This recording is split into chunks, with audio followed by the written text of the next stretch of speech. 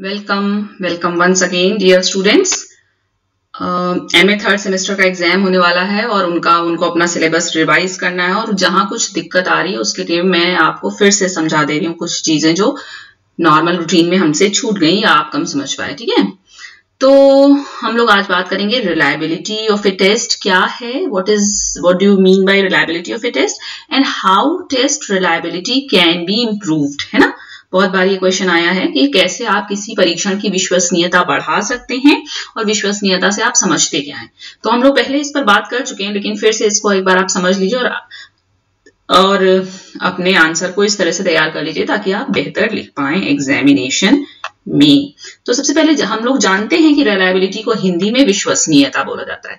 हम ये भी जानते हैं कि विश्वसनीयता का मतलब होता है कंसिस्टेंसी ऑफ़ ए मेजर मतलब हम अगर नाप रहे हैं कुछ और उसमें संगतता बनी हुई है, निरंतरता बनी हुई है, इसका मतलब कि पर्टिकुलर जो मेज़रमेंट पर्टिकुलर जो टेस्ट है, वो हमारा रिलायबल है। तो क्या कह रहे हैं ये? कि reliability refers to reliability refers to self correlation of the test यानी अगर परीक्षण है तो परीक्षण का अगर हम सेल्फ कोरिलेशन करें, यानी कि उसके सारे आइटम्स का आपस में कोरिलेशन निकालें तो वो विश्वसनीयता के समकक्ष बैठता है। फिर consistency in results obtained in a single administration is the index of internal consistency. यानी कि हम एक बार सिंगल एडमिनिस्ट्रेशन पे जो रिज़ल्ट आएगा, उसमें अगर कंसिस्टेंसी है तो क्या होगा? इंटरनल कंसिस्टेंसी कहलाता है वो। और consistency in results upon testing and retesting अगर हमने एक ग्रुप पर एक बार वो टेस्ट लगाया, थोड़े समय बाद फिर से वो टेस्ट लगाया, और अभी भी कंसिस्टेंसी बनी हुई है मार्क्स में तो वो टेम्पोरल कंसिस्टेंसी कहलाता है। Okay okay? अच्छा तो रिलायबिलिटी क्या हो गया? Reliability this includes both internal consistency as well as temporal consistency यानी self correlation of the test भी है इंटरनल कंसिस्टेंसी भी है और टेम्पोरल कंसिस्टेंसी भी है। इन दोनों को मिलाकर विश्वसनीयता कहा जाएगा। फिर इसका एक लॉजिकल या टेक्निकल मीनिंग भी है, जिसको अक्सर हम लोग ध्यान नहीं देते हैं और सिर्फ़ विश्वसनीयता का मतलब कंसिस्टेंसी ऑफ़ ए मेजर समझकर ही आगे बढ़ जाते हैं। देखिए कोई भी हम पे टेस्ट अप्लाई किया जाएगा एडमिनिस्टर किया जाएगा तो हमको एक स्कोर मिलता है है ना? तो वो स्कोर क्या होता है? अब इसको समझा दे रही हूँ कि वो हमारा ऑप्टेन स्कोर होता है। तो ऑप्टेन स्कोर किसके बराबर होता है? एक तो ट्रू स्कोर मान लीजिए हम एकदम आइडियल कंडीशन में दस में दस हमारा आ रहा है तो वो दस प्लस हम कुछ एरर करते हैं। कुछ एरर करते हैं ना? तो चूँकि एरर हमेशा माइनस में होती है तो टेन प्लस माइनस तो प्लस माइनस माइनस हो जाएगा और वो उसमें से घट जाएगा। इसका मतलब ऑप्टेन स्कोर हमेशा ट्रू स्कोर से कम होता है। क्यों? क्योंकि कुछ ना कुछ एरर हो जाती है। तो रिलायबिलिटी क्या है कि ये जो एरर है, जितनी ज़्यादा हम कम कर सकेंगे, हमारी रिलायबिलिटी उतनी ज़्यादा होगी।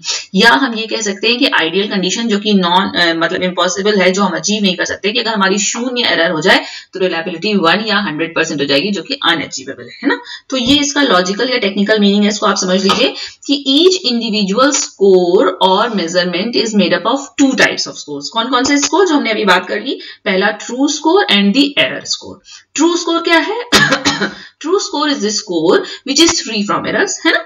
जो कोई भी गलती नहीं हो रही है, वो सारा फ्री फ्रॉम एरर्स है। Occurring due to the chance factors कई बार बाई चांस हो जाती है एरर कई बार सिस्टमैटिक एरर होती है as well as from other kind of errors तो चांस एरर्स और रेंडम एरर्स को हम स्टेटिस्टिक्स की भाषा में कहते हैं एरर्स ऑफ़ मेज़रमेंट ओके तो रिलायबिलिटी क्या है? Reliability is directly related to the size of the error score size error score का जो है, वो रिलायबिलिटी उससे डायरेक्टली रिलेटेड कैसे? जितना स्मॉलर एरर स्कोर होगा। The smaller the error score the more reliable is the test or the measuring instrument हमारा measuring instrument या हमारा परीक्षण उतना ही अधिक विश्वसनीय होगा तो ये इसका लॉजिकल या टेक्निकल या स्टेटिस्टिकल मीनिंग है और ऊपर वाला तो उसका नॉर्मल मीनिंग है फिर साइकोलॉजिस्ट ने मेनली कई तरीके से हमको कंसिस्टेंसी या रिलायबिलिटी के टाइप्स बताएँ, पर जो सबसे अगर हम इसको इस तरीके से देखें ओवर टाइम यानी कि समय के संदर्भ में देखें तो रिलायबिलिटी किस प्रकार की हो जाती है? टेस्ट रीटेस्ट है ना? एक बार टेस्ट लिया जाएगा, थोड़ी देर बाद फिर टेस्ट लिया जाएगा। तो इसमें संदर्भ किसका ले रहे हैं? समय का। अक्रॉस आइटम्स अगर हम एक ही बार आप पे एडमिनिस्टर कर रहे हैं, दोबारा एडमिनिस्टर नहीं कर रहे हैं तो हम रिलायबिलिटी कैसे लेंगे? आइटम्स के क्रॉस लेंगे। तब रिलायबिलिटी क्या हो जाएगी? इंटरनल कंसिस्टेंसी और अगर हम क्या बदल रहे हैं? रिसर्चर्स बदल रहे हैं अक्रॉस डिफरेंट रिसर्चर्स यानी एक बार कोई उस रिसर्च को कर रहा है, दूसरी बार कोई और कर रहा है, तीसरी बार कोई और कर रहा है, तब जब रिलायबिलिटी हम चेक करेंगे तो वो इंटर रेटर रिलायबिलिटी हो जाएगी। क्यों? क्योंकि रेट करने वाला हर बार बदल जा रहा है। तो एक बार टाइम बदल रहा है तो टेस्ट रीटेस्ट जब आइटम्स के अक्रॉस हम चेक कर रहे हैं तो इंटरनल कंसिस्टेंसी और जब रिसर्चर्स बदल रहे हैं तो इंटर रेटर ये तीन मेन टाइप्स हैं और भी बहुत सारे टाइप्स हो सकते हैं। मिलते हैं हमको लिटरेचर में, है ना? तो सबसे पहले हम लोग बात करेंगे टेस्ट रीटेस्ट रिलायबिलिटी की जो बहुत कॉमन है। टेस्ट रीटेस्ट क्या कह रहे हैं कि when researchers measure a construct that they assume to be consistent across time जैसे कौन सा आ, हम लोग जनरली साइकोलॉजी में पढ़ते हैं कि मेजर जो है वो टाइम के अक्रॉस कंसिस्टेंट होता है वो है आपका इंटेलिजेंस तो ये माना जाएगा कि इन, अगर कोई व्यक्ति इंटेलिजेंट है तो आज उस पर हमने एक इंटेलिजेंस टेस्ट लगाया तो उसने जो स्कोर अचीव किया थोड़े समय बाद अगर हम उस पर वही टेस्ट लगाते हैं तो वो लगभग उसको सिमिलर स्कोर करना चाहिए ना. ऐसा नहीं है कि आज आप एबव एवरेज हो थोड़े दिन बाद बिलो एवरेज हो जाएँगे है ना? ये पॉसिबल नहीं है। तो जब एक बार परीक्षण होगा, पुनः दोबारा परीक्षण होगा तो जो रिलायबिलिटी निकल कर आती है, वो टेस्ट रीटेस्ट रिलायबिलिटी होती है। Then the scores they obtain should also be consistent across time यानी समय के सापेक्ष हमारा जो स्कोर होगा, वो कंसिस्टेंट होना चाहिए। तो टेस्ट रीटेस्ट रिलायबिलिटी इसका नाम दिया जाएगा। Test retest reliability is the extent to which this is actually the case यही इन्होंने एग्ज़ाम्पल लिया है कि intelligence is generally thought to be consistent across time तो अगर हम उसका एक बार परीक्षण ले और पुनः थोड़े समय बाद परीक्षण ले तो वो लगभग कंसिस्टेंट आना चाहिए। हम्म अच्छा। फिर टेस्ट रिटेस्ट रिलायबिलिटी में क्या करते हैं? एसेसिंग टेस्ट रिटेस्ट रिलायबिलिटी मतलब इस रिलायबिलिटी को नापने के लिए requires using the measure on a group of people at one time using it again on the same group of people at later time देखिए भैया, यहाँ सेम ध्यान देने वाली बात है। ये नहीं कि आज आप किन्हीं इंडिविजुअल्स पे कर रहे हैं और दूसरी बार जब आप टेस्ट करें तो आपका ग्रुप और सैंपल बदल जाए तो हमारी ऑब्वियसली रिलायबिलिटी डिफर आएगी कंसिस्टेंट हो ही नहीं सकती। तो समय को हम बदल रहे हैं, लेकिन ग्रुप हमारा सेम है। तो अब हम क्या करेंगे? रिलायबिलिटी निकालेंगे कैसे? Then looking at test retest correlation एक बार जब रिलायबिलिटी निकल कर आई, दूसरी बार जब हमने एक बार जो स्कोर आया, दूसरी बार जो स्कोर आया, उसका कोरिलेशन निकालेंगे तो हमको टू सेट्स ऑफ़ स्कोर्स का कोरिलेशन पता चल जाएगा। तो ये बता रहे हैं कि कौन से स्टेटिस्टिक्स इसमें यूज़ करते हैं। This is typically done by graphing the data in a scatter plot and computing Pearson r है ना? पियर्सन का हमने कोफिशियंट निकाला है तो जो भी डेटा इन्होंने यूज़ किया है, इस एग्ज़ाम्पल में वो कह रहे हैं कि Pearson r for these data is plus point nine five यानी कि बहुत बढ़िया रिलायबिलिटी निकल के आया।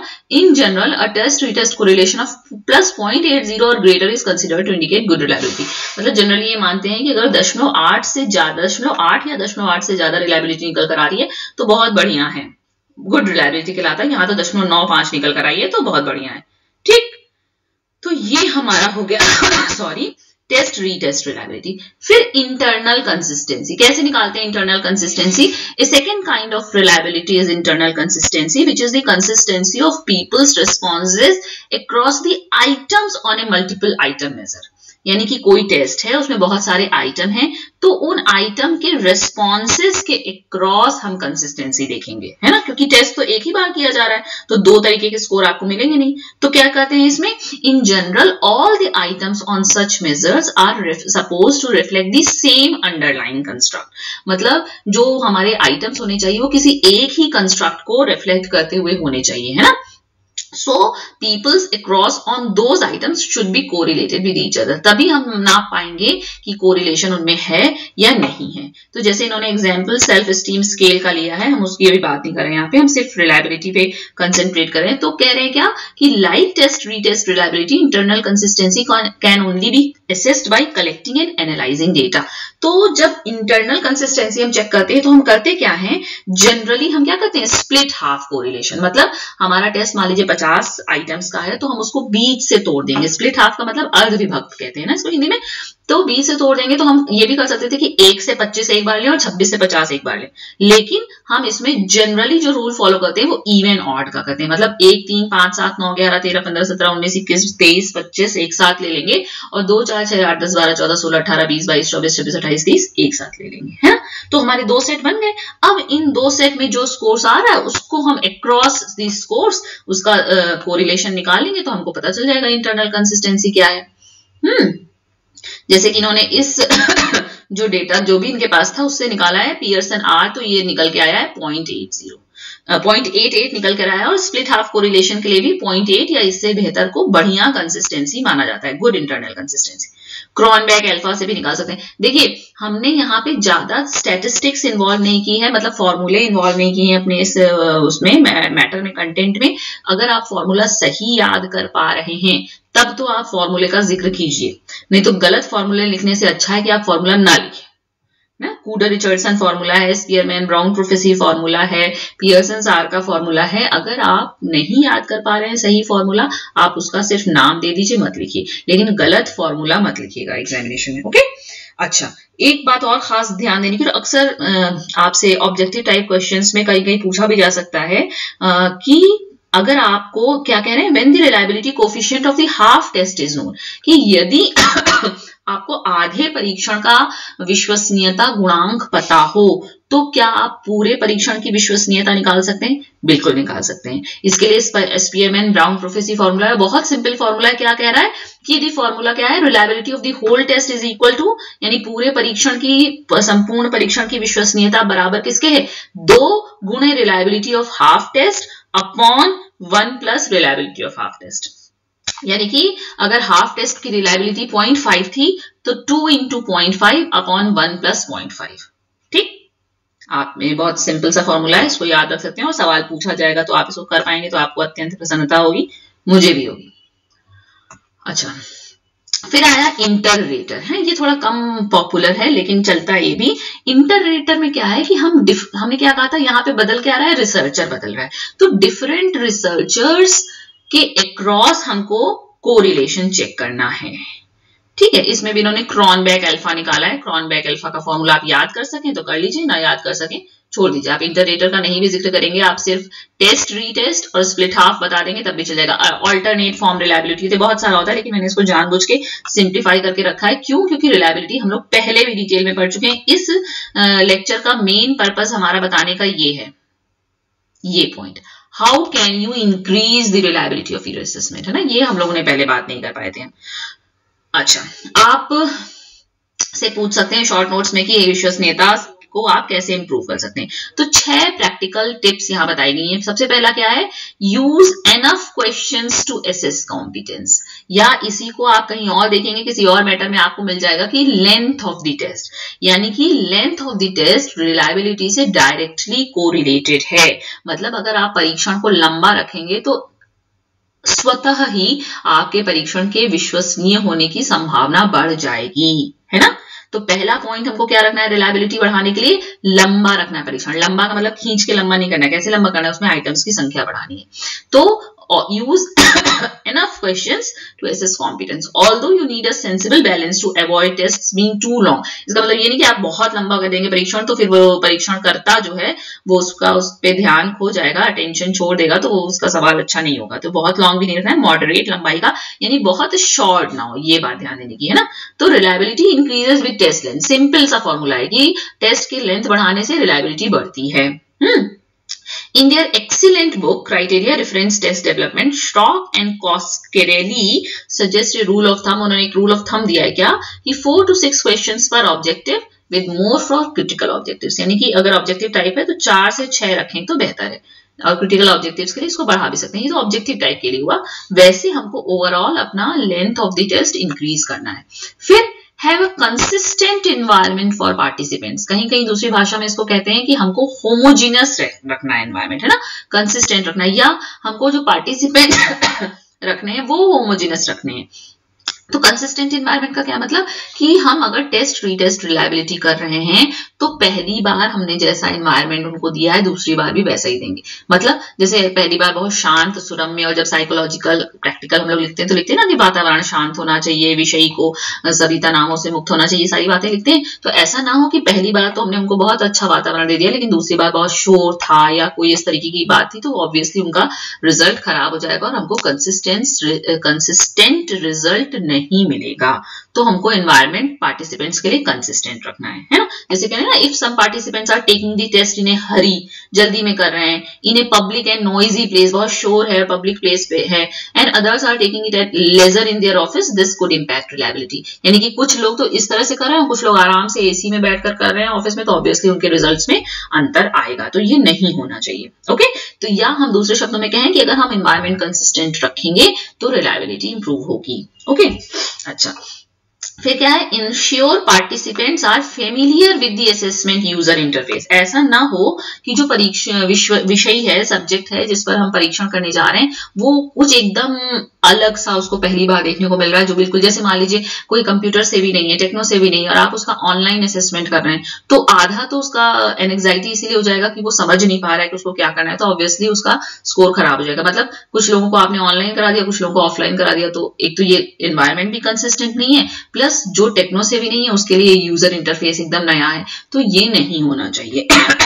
If a participant is new to the user interface all the question types then they may not show their true competence due to the unfamiliarity है ना? बजाय इसके कि वो बेहतर करें, वो बेकार कर देंगे अपना, आपका टेस्ट अगर वो इंटरफेस से फेमिलियर नहीं है। This can also reduce test anxiety मतलब अगर हम उनको प्रैक्टिस टेस्ट पहले करा दें, उसको इंटरफेस से फेमिलियर करा दें तो टेस्ट एंग्जाइटी जो है वो कम हो जाएगी और ऑब्वियसली हमारी रिलायबिलिटी बढ़ जाएगी। If using human raters train them well अगर हम इंटर रेटर रिलायबिलिटी का यूज़ कर रहे हैं, हम रेटर्स ह्यूमन रेटर्स यूज़ कर रहे हैं तो हमको उनको स्कोरिंग रूल्स ऑब्जेक्टिविटी ट्रांसपेरेंसी इन सारे रूल्स रेगुलेशंस के बारे में पहले बताना होगा। उनको प्रॉपर ट्रेनिंग देनी होगी, तभी हमारा प्रॉपर निकल कर आएगा, अन्यथा नहीं आएगा निकल के। फिर, measure reliability. There are a number of ways of doing this, but the most common ways to calculate what is called cronbach's ना तो क्रॉनबेक एल्फा से आप रिलायबिलिटी निकाल सकते हैं। ये फॉर्मूला है, इसको आप देख लीजिए, याद कर लीजिए which measures internal consistency reliability यानी कि आंतरिक संगतता विश्वसनीयता अगर हम निकाल रहे हैं तो क्रॉनबैक अल्फ़ा फॉर्मूला इस्तेमाल होगा और higher it is the better जितना ज़्यादा, देखिए, जब इंटरनली कंसिस्टेंट होंगे, तभी एक्सटर्नली हम कंसिस्टेंट हो पाएँगे तो इंटरनल कंसिस्टेंसी जितनी ज़्यादा निकल के आ रही है, उतना बढ़िया है। It's particularly useful if all question on the assessment measure the same construct और तब ये ज़्यादा फ़ायदेमंद होता है जब हमारे सभी प्रश्न एक ही कंस्ट्रक्ट को नापने के लिए बनाए गए हों। और last but not not the least की conduct regular item analysis to weed out ambiguous और पुअर परफॉर्मिंग क्वेश्चन हम जब भी अपना टेस्ट बनाते हैं, आप जानते हैं स्टैंडर्डाइजेशन करने के लिए हमको आइटम एनालिसिस करनी पड़ती है।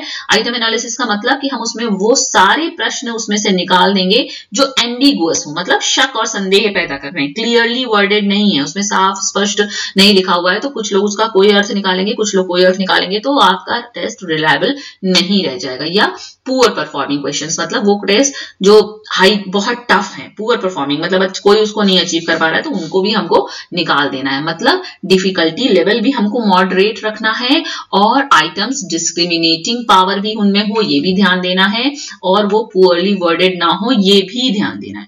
मतलब क्या कह रहे हैं कि running regular item analysis is the best way to identify poorly performing questions पहली बात, दूसरा items should be of moderate difficulty levels यानी दशमलव चार से दशमलव छह के बीच में उनका डिफिकल्टी लेवल होना चाहिए और items should be discriminatory ones मतलब आइटम ऐसे हों जो विभेदीकरण की क्षमता रखते हों। ठीक है? तो रिलायबिलिटी हम लोग पहले भी पढ़ चुके थे, फिर भी मैंने क्विक रिवीजन आपका रिलायबिलिटी का करने की कोशिश की। लॉजिकल और ट्रू मीनिंग उसकी जानिए रिलायबिलिटी के टाइप्स जानिए। फॉर्मूले याद हो पाए तो याद कर लीजिए, नहीं याद हो पाए तो कंफ्यूजन क्रिएट करने के लिए उसको गलत मत लिखिए। Okay okay? और ये छह स्मॉल स्टेप्स हैं स्मॉल टिप्स हैं, जिनसे आप अपने परीक्षण की विश्वसनीयता बढ़ा सकते हैं। ठीक? चलिए, डन।